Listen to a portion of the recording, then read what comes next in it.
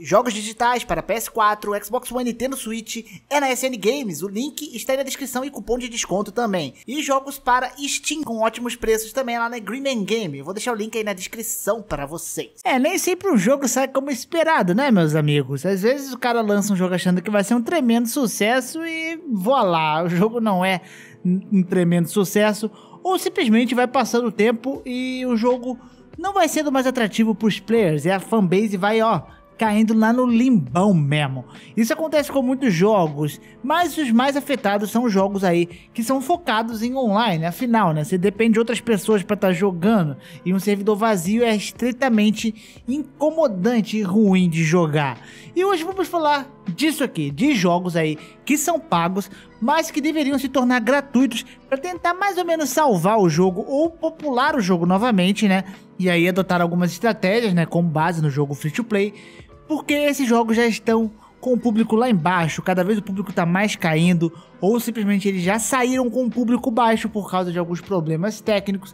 Então vamos falar desses jogos aqui, basicamente, que merecem ficar de graças nos jogos. Então, antes da gente ir pro reclame do Plim Plim, deixa o like, se inscreve no canal se você não é inscrito ainda, e me siga no Instagram e as redes sociais estão aí na descrição, e vambora pro vídeo.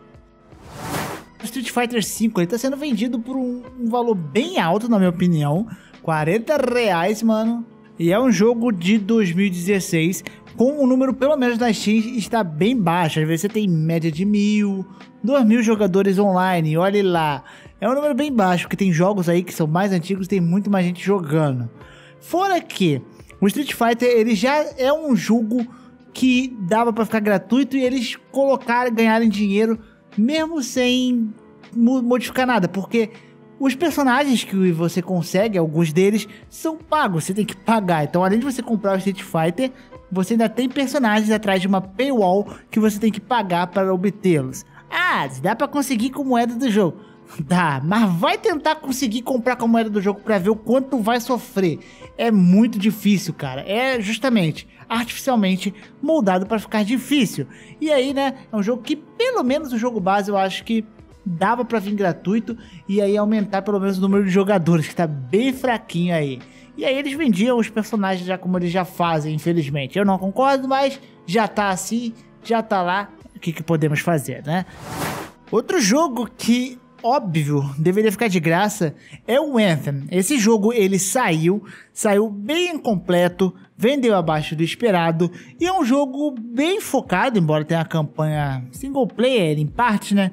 É um jogo bem focado em você jogar com amigos, é, jogar em equipe, mesmo que seja equipes aleatórias, para farmar, para melhorar o seu personagem. Porém, o jogo saiu faltando muito conteúdo, eles não lançaram o conteúdo a tempo, o que foi ali o prego, né? Fez o jogo ir no limbo mesmo. O jogo foi muito mal visto e qual seria a estratégia para mim?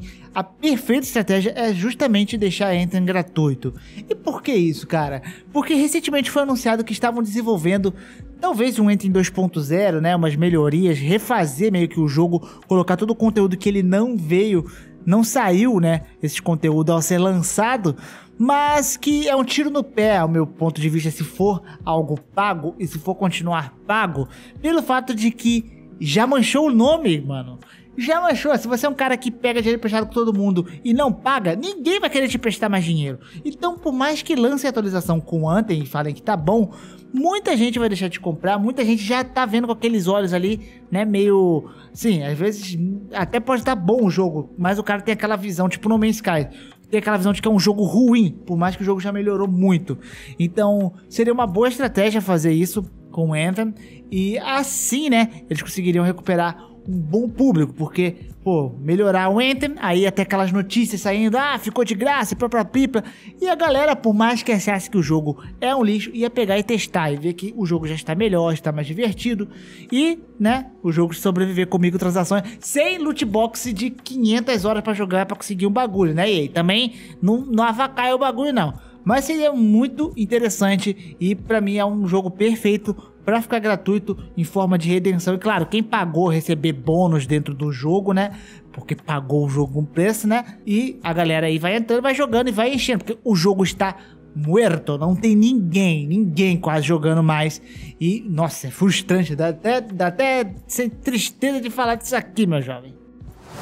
Outro jogo aí que já ficou de graça deveras vezes, né? Foi For Honor. E For Honor ainda assim não tem muita gente jogando. Ele tem nas épocas que ele fica gratuito, mas a galera para, mas ainda assim ele tá sendo vendido. Barato? É barato. Sendo vendido acho que é, você acha por 20 reais, 40 reais pra comprar o For Honor. Mas ainda assim é dinheiro e ainda assim pode afastar muita gente de jogar. Eu acho que não vai acontecer de For Honor ficar totalmente gratuito, visto que já não é nem muito foco da atenção ao jogo, porque o jogo, a ideia, né, empresas muito grandes, é ver aquele baque, aquele lançamento bonito, com muitos dinheiro entrando no bolso. E For Honor já passou da sua época, né? Então que eles puderem vender os resquícios sem encostar muito, sem ficar lançando atualização grande, né? eles vão fazer. É um jogo que eu acho que deveria ficar de graça, mas que ao mesmo tempo eu tenho quase certeza que não vai ficar. Pode ter semanas gratuitas aí, de vez em quando deixar um dia gratuito pra galera pegar para sempre, né? Mas vira e mexe vai estar tá vendido aí, pago para quem quiser jogar. Porque a Ubisoft não ia perder seu tempo, né? Atualizando o jogo para funcionar de uma forma gratuita, né? Porque demandaria tempo, pessoas, ela não, não vai rolar, não vai. Ela não vai querer fazer isso. É gasto à toa para um retorno que ela não sabe se vai ter muito grande. Mas que, né? É um jogo que merecia. Porque, que, que, como ele saiu na época com aqueles problemas de conexão, era terrível. Vários problemas. E hoje ele tá bem mais legalzinho de se jogar. Se tem um jogo desmerecido e que é praticamente falido, não tem ninguém jogando, é Titanfall. Ele já apareceu em vários vídeos aqui e ele teve vários problemas. Seja o Titanfall 1, que ele teve o problema de ser vendido meio que na expectativa de superar Call of Duty, isso não aconteceu. A falta de atualização do jogo também, de conteúdo, foi fazendo aí a player base do jogo despencar de uma forma sinistra, sinistramente sinistra. E aí saiu o Titanfall 2 que eu não entendi o que, que aconteceu ali, lançou entre Call of Duty e Battlefield. Por que fazer isso? Tá ligado? Não faz o mínimo sentido, adiasse o jogo. E aí também foi um jogo que pregou logo seu caixão no lançamento. Ninguém jogou porque tinha outros jogos concorrentes e que eram muito mais fortes, querendo ou não, por mais que Titanfall seja um jogo legal, muito mais forte na altura de Titanfall. E cara, Titanfall seria ótimo deixar ele de graça, afinal. Aí já não dá mais tanta atenção para ele assim. Eles já não devem vender tanto assim, tanto que ele tá baratinho. Principalmente o 2, que deveria ficar de graça, que é o mais atual, né? Tá custando 20 reais. E, pô, de 20 reais pra 0 reais, colocar umas skinzinhas ali no jogo, eu acho que é mais lucro, talvez, né? E que gosta de ganhar monies, talvez seja algo bom para eles, se não avacalharem também. Porém, não, cara, o jogo ainda tá lá pago, são pouquíssimas pessoas que jogam. Se você for jogar online, você vai ter um pouco de dificuldade até para poder achar matchmake, dependendo ali de onde você tiver. E infelizmente também eu não vejo, acho que fica gratuito. É mais fácil a EA lançar um Titanfall 3 para tentar vender mais jogo por full price do que tentar trabalhar num Titanfall 2 ali de forma gratuita para redimir, né, com os jogadores, né, para poder fazer ou galera conhecer também o Titanfall melhor. E, bem, eu acho que também não vai acontecer. Deveria, mas não vai. O primeiro jogo que me vem à mente quando eu falo de que está acabando ali a fanbase, está muito ali escassa já, é Overwatch. Tem boatos aí de Overwatch 2 já por causa disso, né?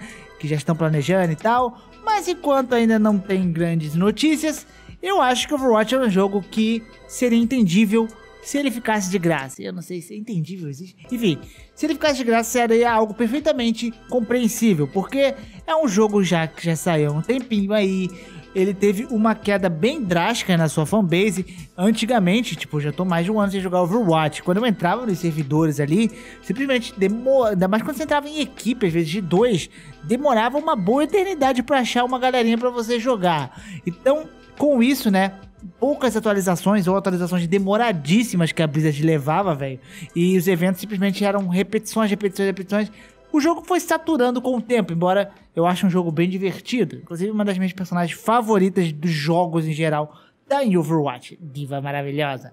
Enfim, Então, é um jogo que eu acho que caberia perfeitamente para ficar de graça e adotando, é óbvio, né, uma política aí de microtransação para poder sustentar o jogo, já que ele não vai ser pago. Mas é óbvio que quando eu falo microtransação, eu não falo colocar uns bagulho retardado pay to win, e sim algo justo que sirva para poder manter o servidor. Óbvio que precisa ter algum dinheiro para manter os servidores. E Overwatch caberia perfeitamente um jogo que poderia ficar gratuito e ia resgatar muita gente, que eu, conheço muita gente que jogou os finais de semana gratuitos de Overwatch e nunca comprou o jogo porque não podia ou porque simplesmente não queria gastar com Overwatch, mas se tivesse gratuito ia estar jogando direto. Eu sei que tem muita gente assim.